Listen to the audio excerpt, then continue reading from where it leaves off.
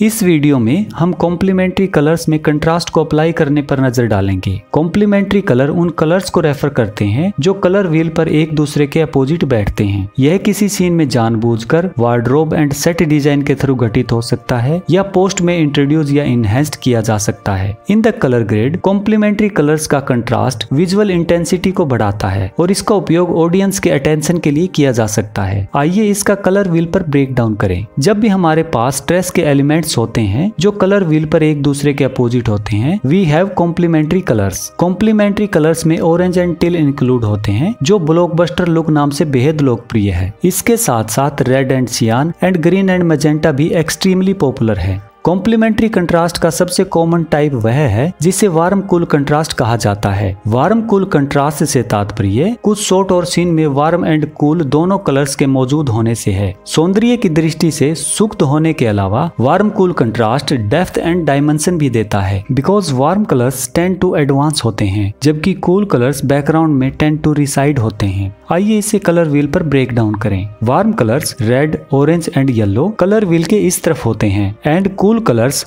like blue cyan and green colour wheel के इस तरफ़ होते हैं। जब भी हमारे पास ऐसे कलर्स होते हैं, जो कलर व्हील के अपोजिट साइड पर मौजूद होते हैं तो हमारे पास वार्म कूल कंट्रास्ट होता है। नाउ जिस क्लिप के साथ हम काम करने जा रहे हैं, उसमें पहले से ही कुछ कॉम्प्लीमेंट्री कंट्रास्ट मौजूद है। लेकिन हम एडोब प्रीमियर के टूल्स का उपयोग करके इसे बढ़ाने में सक्षम होंगे। एक आसान तरीका क्रिएटिव पैनल में इस लट को अप्लाई करना है। यह इमिडिएटली इस शॉट के लिए वार्म कूल कंट्रास्ट को पंप कर देता है। आप लुक बैक को डायल करने के लिए इंटेंसिटी स्लाइडर का भी उपयोग कर सकते हैं, या अधिक एक्सट्रीम लुक बनाने के लिए स्लाइडर को राइट की ओर ड्रैग कर सकते हैं। ठीक है? आइए देखें कि हम इसे मैनुअली कैसे करेंगे। मैं क्रिएटिव पैनल करेक्शन को बंद कर दूँगा और कलर व्हील्स पर जाऊँगा। मैं मिड टोन को वार्म कलर्स की ओर और सेडो को कूल कलर्स की ओर पुश करूँगा।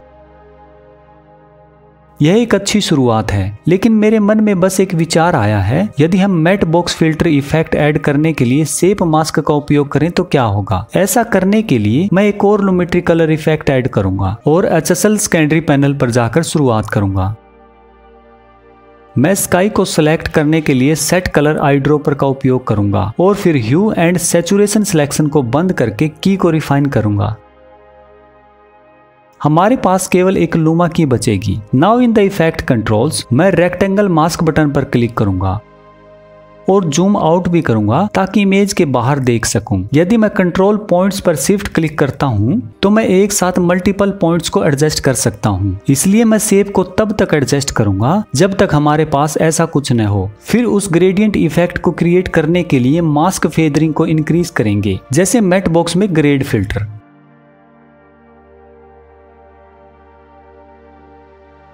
now in the correction panel comes the fun parts हम तीन तरह के कलर करेक्टर खोलेंगे। और वार्म कलर्स को हाईलाइट में डालेंगे। एंड एड सम सेचुरेशन ये दैट लुक स्वीट चलिए अगले शॉट की ओर बढ़ते हैं। इस शॉट में बहुत सारे वार्म टोन्स हैं, लेकिन महिला का ग्रीन स्वेटर अच्छा प्लेजिंग कंट्रास्ट प्रोड्यूस नहीं करता है। हम क्विकली कॉम्प्लीमेंट्री कंट्रास्ट बना सकते हैं। मैं कर्व पैनल पर जाऊँगा और ग्रीन स्वेटर को सिलेक्ट करने के लिए hue versus hue curve eyedropper का उपयोग करूँगा। कर्व में सिलेक्टेड ग्रीन की रेंज के साथ हम मिडल पॉइंट को तब तक नीचे खींच सकते हैं, जब तक की स्वेटर ब्लू न हो जाए। हम यह सुनिश्चित करने के लिए लेफ़्ट एंड राइट पॉइंट को घुमाकर सिलेक्शन को घुमा सकते हैं कि ह्यू चेंज से पूरा स्वेटर इफ़ेक्ट होता है। यह क्यूक स्कैंडरी एडजस्टमेंट है, जो आपकी इमेज में बड़ा अंतर ला सकता है। वेल आई होप कि इस ट्यूटोरियल ने आपको यह समझने में मदद की है कि कॉम्प्लीमेंट्री कंट्रास्ट का उपयोग आपके सीन और शॉट को कैसे बेनिफिट पहुँचा सकता है। तो ठीक है दोस्तों, मिलते हैं नेक्स्ट ट्यूटोरियल में नए टॉपिक के साथ। तब तक के लिए happy learning happy Premiere Pro bye friends